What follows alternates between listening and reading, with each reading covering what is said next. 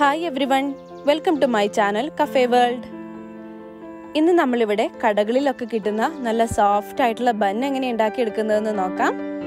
അപ്പം ഈ രീതിയിൽ തന്നെ നിങ്ങൾക്ക് ബ്രെഡും സാൻഡ്വിച്ച് ബ്രെഡൊക്കെ ഉണ്ടാക്കിയെടുക്കാനായിട്ട് പറ്റും. അപ്പം നമുക്ക് ആദ്യം ഇതിനാവശ്യമായിട്ടുള്ള ഇൻഗ്രീഡിയൻസ് എന്തൊക്കെയാണെന്ന് നോക്കാം.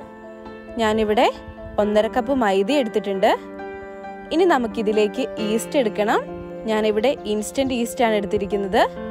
പിന്നെ നമുക്കിതിലേക്ക് കുറച്ച് പഞ്ചസാര അതുപോലെ തന്നെ കുറച്ച് ഉപ്പും എടുക്കാനുണ്ട്. ഇനി നമുക്ക് ആദ്യം നമ്മുടെ ഈസ്റ്റ് ഒന്ന് ആക്ടിവേറ്റ് ചെയ്തെടുക്കണം. അതിനു വേണ്ടിയിട്ട് ഞാനിവിടെ ഒരു ബൗളിൽ കുറച്ച് ചെറിയ ചൂടുള്ള വെള്ളം എടുത്തിട്ടുണ്ട്. ഇനി നമുക്ക് ഇതിലേക്ക് ഈസ്റ്റ് ഇട്ട് കൊടുക്കാം. ഞാനിവിടെ മുക്കാൽ ടീസ്പൂൺ ഈസ്റ്റ് ആണ് യൂസ് ചെയ്യുന്നത്. ഇനി നമുക്കിതിലേക്ക് കുറച്ച് പഞ്ചസാരയും കൂടെ ചേർത്ത് കൊടുക്കാം. അതിനുശേഷം ഇത് നന്നായി ഇളക്കി നമുക്കൊരു പതിനഞ്ച് മിനിറ്റ് മാറ്റിവെക്കാം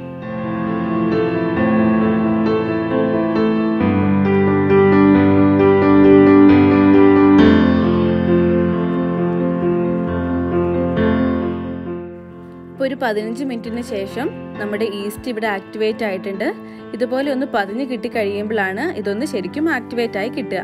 അതിനുശേഷം മാത്രമേ നമ്മൾ ഇത് ഉപയോഗിക്കാനായിട്ട് പാടുള്ളൂ. അപ്പോൾ നമുക്കിതൊന്ന് മിക്സ് ചെയ്തതിന് ശേഷം നമ്മുടെ മൈദയിലേക്ക് ചേർത്ത് നമുക്കിതിനാവശ്യമുള്ള ഡോ തയ്യാറാക്കിയെടുക്കാം. ഇനി നമുക്ക് ബന്നിന് വേണ്ടിയിട്ടുള്ള ഡോ തയ്യാറാക്കിയെടുക്കാം. അതിന് വേണ്ടിയിട്ട് ഞാൻ മൈദയിലേക്ക് ഒരു ടീസ്പൂൺ ഷുഗർ ആഡ് ചെയ്ത് കൊടുത്തിട്ടുണ്ട്. ഇനി നമുക്കിതിലേക്ക് കുറച്ച് ഉപ്പും കൂടെ ചേർത്ത് കൊടുത്ത് ഇത് നന്നായിട്ടൊന്ന് മിക്സ് ചെയ്തെടുക്കാം. അതിനുശേഷം നമ്മൾ ആക്ടിവേറ്റ് ചെയ്ത് വെച്ചിരിക്കുന്ന ഈസ്റ്റും കൂടെ ചേർത്ത് നല്ല രീതിയിൽ ഇതൊന്ന് മിക്സ് ചെയ്തെടുക്കാം. ഈ ഈസ്റ്റ് ഇതിലേക്ക് മിക്സ് ചെയ്യുമ്പം കുറച്ച് കുറച്ച് ചേർത്ത് കൊടുത്തിട്ട് വേണം മിക്സ് ചെയ്തെടുക്കാനായിട്ട്.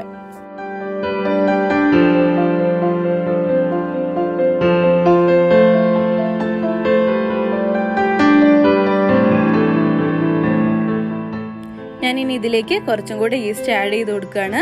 ഇതുപോലെ ഒന്ന് മിക്സ് ചെയ്തതിന് ശേഷം വേണം നമുക്ക് ആ ഈസ്റ്റ് ഒന്ന് ആഡ് ചെയ്ത് കൊടുക്കാൻ.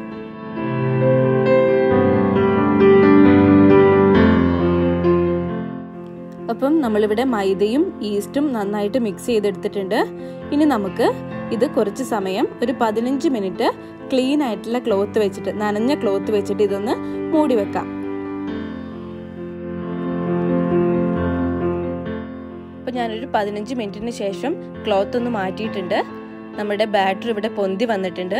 ഇനി നമുക്ക് ഇതുപോലെ ഒന്ന് മിക്സ് ചെയ്ത് കൊടുക്കാം. കൈകൊണ്ട് അതിനൊന്ന് മിക്സ് ചെയ്ത് കൊടുക്കാം. അതിനുശേഷം ഒരു ക്ലീൻ ആയിട്ടുള്ള ഒരു സർഫസിൽ ഇട്ടിട്ട് നമുക്ക് ഇതൊന്നും കൂടെ ഒന്ന് കുഴച്ചെടുക്കണം.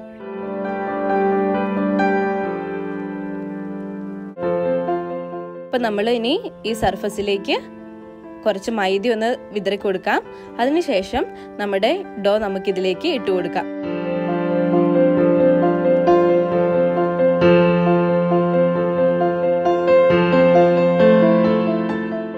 നമുക്കിതൊന്ന് നന്നായിട്ട് കുഴച്ചെടുക്കണം. അപ്പം ഇതുപോലെ കുഴച്ചെടുക്കുന്ന സമയത്ത് ഇടയ്ക്കിടയ്ക്ക് നമ്മൾ മൈദ വിതറി കൊടുത്തോണ്ടിരിക്കണം അങ്ങനെ ഇത് ഒട്ടിപ്പിടിക്കാത്ത നമ്മുടെ കയ്യിലും അതുപോലെ ഈ സർഫസിലും ഒട്ടിപ്പിടിക്കാത്ത രീതിയിലായി കഴിയുന്നത് വരെ നമ്മൾ ഈ രീതിയിൽ തന്നെ കുഴച്ചു കൊടുക്കണം.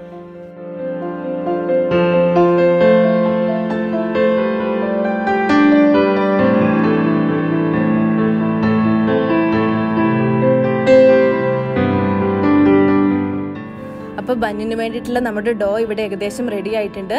ഇതുപോലെ ഒട്ടിപ്പിടിക്കാത്ത രീതിയിൽ നമുക്ക് കിട്ടിയിട്ടുണ്ട്. ഇനി നമുക്കിത് കുറച്ച് സമയം റെസ്റ്റ് ചെയ്യാനായിട്ട് വെക്കണം. ഏകദേശം ഒരു നാൽപ്പത് മിനിറ്റോളം ഇത് റെസ്റ്റ് ചെയ്യാനായിട്ട് വെക്കണം. അപ്പോൾ അതിന് വേണ്ടിയിട്ട് ഞാൻ ഇവർ ഇവിടെ ഒരു ബൗളിൽ കുറച്ച് എണ്ണ തടവി കൊടുത്തിട്ടുണ്ട്. ഇനി നമുക്കിതിലേക്ക് നമ്മുടെ ഡോ വെച്ച് കൊടുക്കാം.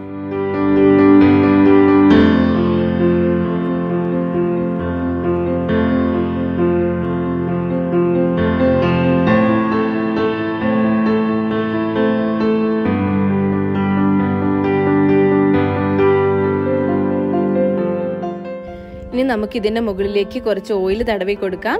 അതായത് ഇത് ഡ്രൈ ആയി പോകാതിരിക്കാൻ വേണ്ടിയിട്ടാണ് നമ്മൾ ഇതിന്റെ മുകളിലേക്ക് ഓയിൽ ഒന്ന് തടവി കൊടുക്കുന്നത്. അതിനുശേഷം നമുക്ക് നേരത്തെ വെച്ചതുപോലെ തന്നെ നനഞ്ഞ ഒരു ക്ലോത്ത് വെച്ചിട്ട് ഇതൊന്ന് അടച്ചു വെക്കാം. നമുക്ക് എന്നിട്ട് നാൽപ്പത് മിനിറ്റ് കഴിഞ്ഞിട്ട് നമുക്കിത് എടുക്കാം.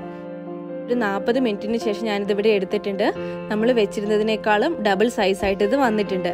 ഇനി നമുക്ക് കൈകൊണ്ടൊന്ന് ജസ്റ്റ് കുഴച്ചെടുക്കണം. അതിനുശേഷം നമ്മൾ ടേബിളിൽ ഇട്ടിട്ട് ഒന്നും കൂടി ഇതൊന്ന് കുഴച്ചെടുക്കണം.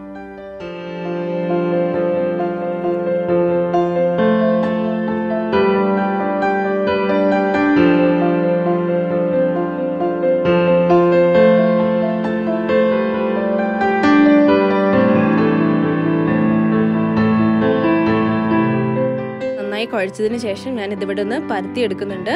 ഈ ഒരു രീതിയിലാണ് നമ്മൾ കട്ടിക്കാണ് പരത്തിയെടുക്കുന്നത്. അതിനുശേഷം ഇത് നമുക്കൊന്ന് കട്ട് ചെയ്തെടുക്കാം.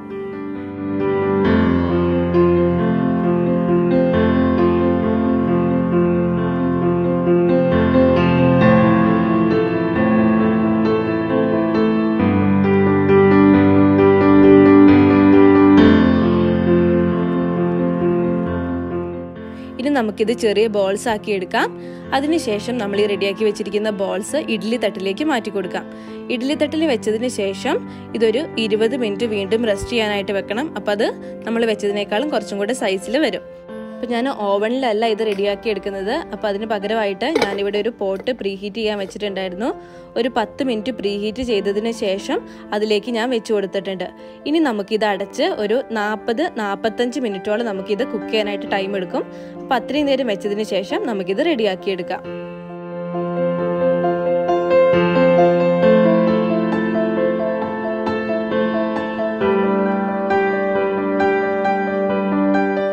നമ്മുടെ ബൺ ഇവിടെ ഏകദേശം റെഡി ആയിട്ടുണ്ട്. ഇനി നമുക്ക് ഈ പോട്ടിൽ നിന്ന് മാറ്റാം.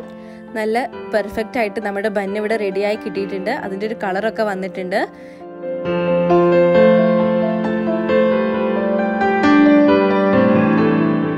അപ്പം ഞാൻ ഈ ബന്ന് നിങ്ങളൊന്ന് മുറിച്ച് കാണിച്ചു തരാം.